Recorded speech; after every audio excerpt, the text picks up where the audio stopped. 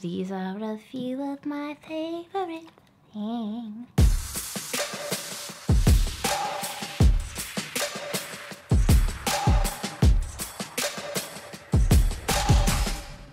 For today's video, I wanted to do a little bit of a quick ramble. I thought it would be fun to just give you a quick little rundown of what 10 of my most repurchased beauty related products are. Now, in this fun little YouTube world, we get gifted a lot of things, but I also purchase and repurchase and repurchase a lot of my favorite things. And I feel like that's a really good gauge on what some of my favorite products are is when I keep repurchasing them over and over again, something that I use up and I simply must have in my collection no matter how much comes along. Some of these things remain in my collection at all times. So this is some beauty, mainly skincare, and a few other little tidbit related things. And yeah, I thought it'd be fun to give you guys a little narrowed down list of what some of my most repurchased products are. And I also wanted to say that a tutorial on this makeup look is coming tomorrow. I'm very excited about it. I am I am living for the color. I'm obsessed. If you want to see how I did this makeup look, stay tuned for tomorrow, baby. It's coming right up. I also applied a tan. It has been a long time,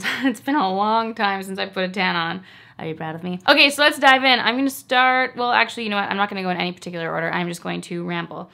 First thing I wanted to mention, this is gonna be so obvious to you, so obvious. This is the Kora Organics Noni Glow Face Balm. I have been raving about this nonstop, and this is my fourth tube. This is one of my most favorite discoveries from the year.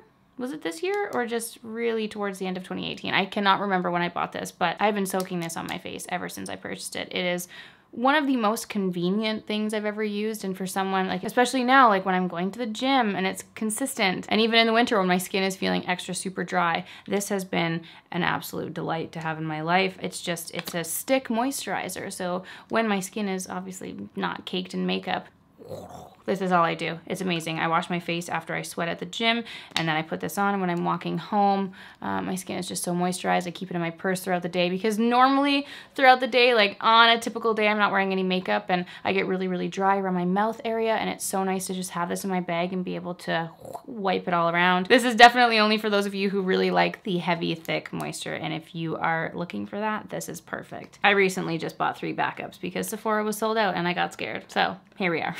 now the second product that I wanted to mention uh, kills me. This this product is the smaller jar, might I add. This is the smaller size, and it retails for $187 Canadian. Which is insane. It's insane, but it has been a product that I have been gifted and that I have also repurchased way too many times than my visa would like to admit, and that is the Fresh Creme Ancienne. This cream, like the Kora Organics, is a very, very thick very thick hydrating cream. They also have a soft version. They have the soft cream version. I like the original, the big, thick bad boy. This is a product that is handmade in a monastery in Prague. When Lev and Alina said that, my love for this product just went so much more insane. So whatever the scientific process is that, that they use to create this cream actually has to be handmade. There's something about the wax and something, I can't remember exactly why. If you hear Lev and Alina talk, it's delightful. I love hearing their explanations for everything, but that's why it's made in a monastery because whatever the process is, it must be handmade. So this is one of my most favorite creams ever, ever, ever. No matter how many creams I'm using, I always have a jar of the Creme Ancienne because sometimes my skin, I don't know, I don't know. For those of you who have sensitive skin, my skin kind of goes in phases. So I'll have phases where one product is working really, really well for me and then it'll kind of just freak out. Most often when the change of season happens, I'd say like every three or four months, my skin just has a little bit of a, huh, which is what it's having right now. Hmm. and the Creme Ancienne is one of the few products that my skin just loves. It eats it up no matter what time of year, no matter what the season, no matter what else I'm putting on my face. I always have a jar of this kicking around. All right, continuing down the line, the MAC Fix Plus coconut or original, whichever you prefer. I love the coconut, but always, always I will have a tub jar bottle.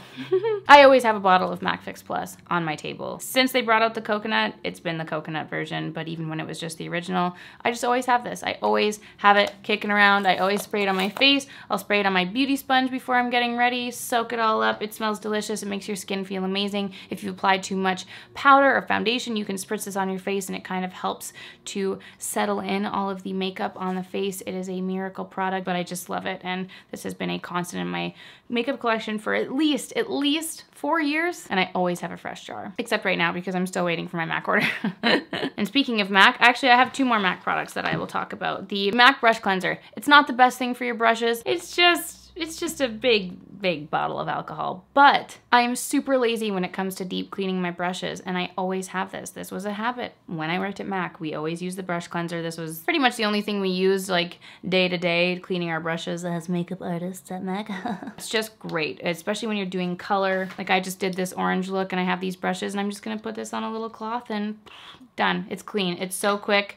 It dries instantly on your brushes. You can pretty much wash all your brushes and use it that very same moment after you wash them. And for those of you who are lazy, this is great. And I always, always have a jar. Even if I'm in like a deep cleaning mood and I actually go and like properly shampoo and soap my brushes, I always have this on hand no matter what. Very, very much a repurchase product from me. The final MAC product, this is actually one of the only makeup products in this little stash, but it's the MAC Face and Body. Always, this foundation. I just repurchased uh, the shade C3. I've been using C2 all winter long and in anticipation for my fake tan and summer life, I purchased another bottle of C3. This has been a constant makeup product no matter how many foundations I have, which right now is way too many. There's no way that my face can use all of that foundation that I have in that drawer. But no matter what, I always have a bottle of MAC Face and Body. This is my go-to every day. I switch it up every now and again, but this is just like a, it's just my baby. This is my child.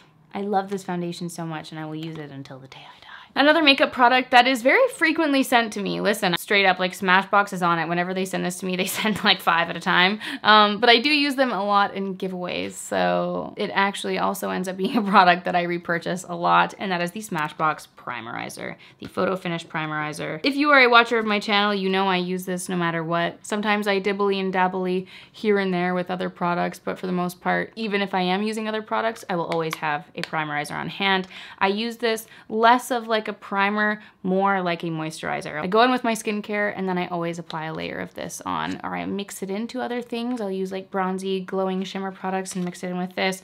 It just adds an extra layer of intense hydration and that's what I love it for. If you have dry skin, your skin will thank you dearly if you put this in your life. It is $50 Canadian, which is not cheap and I go through it way too quick. So dear Smashbox, if you could make a bigger size or just uh, change that price a little bit, that'd be, that'd be swell.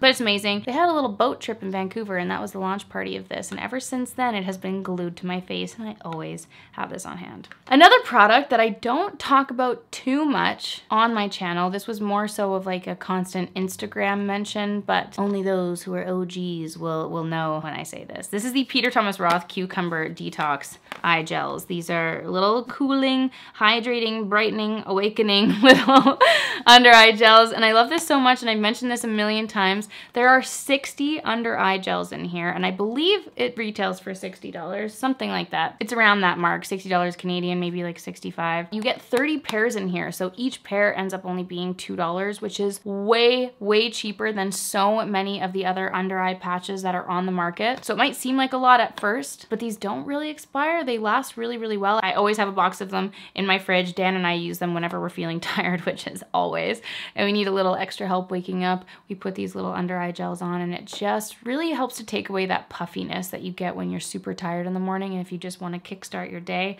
I love these so much. And I, I mainly love them because it's such a good deal in terms of price with other comparable products. They're super great. One of my favorite products, always have them in the fridge. Another thing I don't talk about too much are makeup wipes. And no matter what, I always, always have a pack of makeup wipes on my makeup table. I'm constantly constantly pouring crap on my hands, using stuff, spilling stuff all over the place. I always have makeup wipes. Even if I'm not necessarily using them on my face all the time, I usually only do that when I travel, but I always have makeup wipes. And right now, I've got the Neutrogena all-in-one makeup removing cleansing wipes. I think these are just the generic branded ones from Neutrogena. I usually buy these or the simple cleansing wipes, whichever ones are on sale. One or the other, they're always on sale at Shoppers, and I'll usually just buy whichever one is on sale. I always keep makeup wipes on hand. This is a constant repurchase product for me, something I don't necessarily always talk about on my channel, but I always have the makeup wipes chilling around. Another product that I always have on hand, the Real Techniques Beauty Makeup Sponge. This is so great, absolute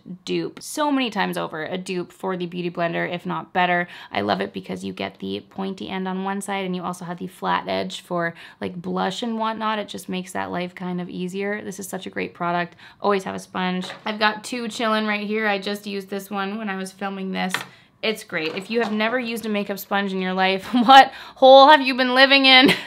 but for real, this will change your life. If you use anything kind of full coverage, medium coverage, whatever, and you want a product, concealer or foundation to look like skin, this will do that for you. You do not have to struggle with blending it in. This just makes it look like magic. It makes the product really blend out evenly and beautifully over the skin. If you wanna use anything like cream bronzers, blushes, highlighters, anything like that, it just applies it beautifully. I love these so much. Always have one on hand. Even if I go through phases where I'm using my hands or my brushes, I always keep a sponge. So this has been a very, very, very repurchased product for me. And finally, the 10th product I wanted to mention is my fragrance love. Now, I, as a YouTuber, get gifted a lot of fragrances, but when I find a favorite, I repurchase that favorite over and over Listen, my current favorite. In this house at the moment, including roller bottles, there are four bottles of Replica by the fireplace. And that has been one of my most repurchased perfumes, fragrances, whatever you want to call it, in my life. This is my third bottle. Many roller balls as backups for travel. I am obsessed with it. It is such, such a versatile scent. It's a unisex scent. Dan loves it. We both smell the same. If you guys ever meet us in real life, give us a sniff. We're probably both wearing this. It just smells so good. I don't know how to explain it. It's a very warm, comforting scent. When I first got it, I thought that it would only be a winter scent, but I find myself dousing my body in it no matter what time of year. It is just my favorite fragrance always. It's so good, and I really want one of you to uh, win this and have this in your life because it's so delicious. I also realized I'm gonna do a little bonus number 11 because I completely forgot. But Bioderma. Bioderma micellar water. This is probably a very obvious, maybe not that obvious one. I don't talk about this a lot on my channel, usually only when I'm talking about things related to skincare. But even though right now I'm on this like, you know, Amora-Vixa little peachy micellar pads thing, no matter what, I always have a bottle. I always have a backup bottle. I always have a travel size bottle of the Bioderma micellar water, my most favorite, most staple makeup remover ever. And people always say that the Garnier micellar water is a dupe, and it is. It is a dupe, but it's just not as good. It's not as good as the original in my opinion, so and that, my friends, concludes this 10 slash 11 of my most repurchased products. I just wanted to do a little roundup for you, some things that I don't necessarily mention all the time on YouTube, but things that are constants in my little beauty world. Let me know in the comments down below what some of your most repurchased products are. What things do you keep buying over and over and over again? No matter how many other products may accumulate. Let me know in the comments down below. And I did just want to say that this, I'm going to attempt making a tower here. One of you will win some of my favorite products. This pile, the Peter Thomas Roth Under Eye Gels, Fresh Creme Ancienne, Smashbox Primerizer, Kora Noni Glow Face Balm, the Replica by the Fireplace, the Neutrogena Wipes, and the Bioderma Micellar Cleansing Water. If you would like to enter to win seven of my 10 slash 11 favorite most repurchased products, all of these were purchased by yours truly. I really wanted you guys to have an experience of some of my favorite things. Check the description box down below on how to enter. Check the description box down below if you would like to enter to win some of my favorite things. Let me know if you have tried any of these, any of my favorite things, and what your thoughts are on them in the comments down below. Thank you so much for watching this video, everyone. I hope that you enjoyed it, and I will see you in tomorrow's video for a little toot on this makeup look and another Everyday May video. See you then, guys. Bye!